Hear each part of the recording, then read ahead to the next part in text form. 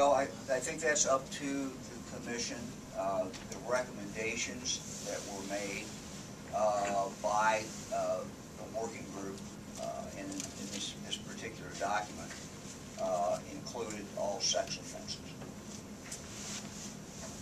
If these type of recommendations are enacted or uh, implemented, do you think this will cut down and reduce the number of incidents like John Crawford or Tamir Rice? Well, I don't think anyone has a crystal ball, and I can, and frankly, we will never know what doesn't happen because something is implemented. Uh, But, um, I think when you look at what's already been implemented, uh, which is the additional training, um, in some very, three very specific areas, uh, that were identified by the working group as being areas where there was not enough training, there was particularly not enough continuing training.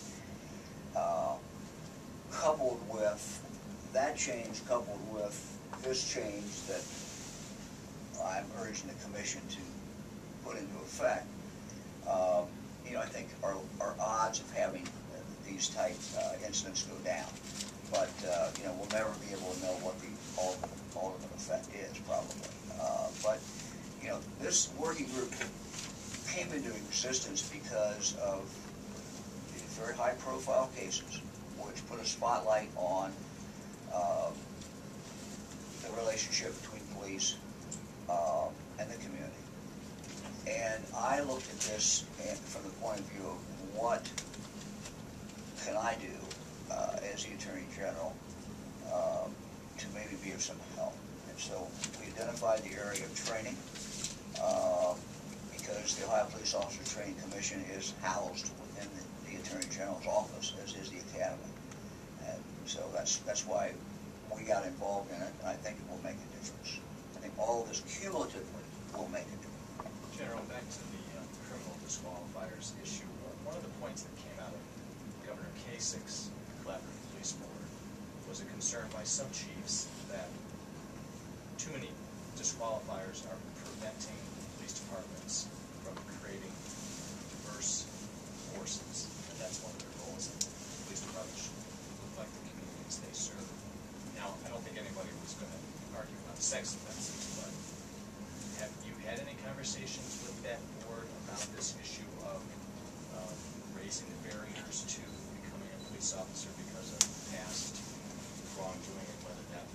uh, Uh, I, I'm aware of the concern, and, you know, I have, we all have a concern that, that the police departments become more diverse. Um,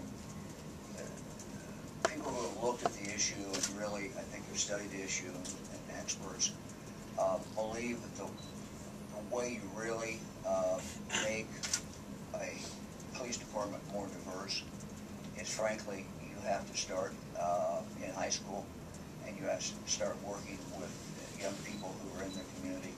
Um, It's very difficult uh, when you don't start that early. So if you're looking at something to do, the most progressive thing to do, and, and there's some cost to it, but is for a police department to start working with young people in that community in a program that exists while they're in high school. Uh, that is the way you, you improve this. In, in, in specific regard to what you said, I, I would again point out that these qualifications, every big city, uh, or the major big cities in the state of Ohio, certainly three Cs, have all of these. So that's already being done. The only question is, you, you, you spread that out among the, uh, you know, is that gonna be done in more rural areas? Is that gonna be done in smaller departments? And I will tell you, my personal opinion, that of this group, this is the one that is most important. And that is the psychological exam. I think it's the most important.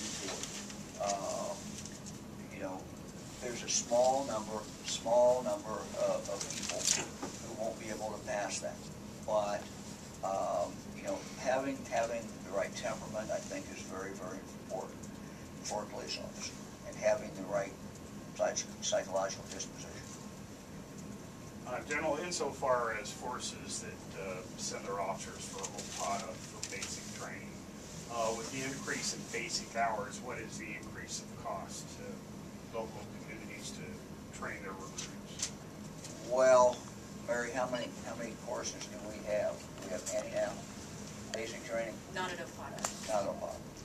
So, the- you know, the, the, the training, what we do, I say we, what O- OPOTA does, what the commission does, i- i- you know, is a couple things, you know. One is to set the qualifications, and so when we looked at these areas, you know, it was on my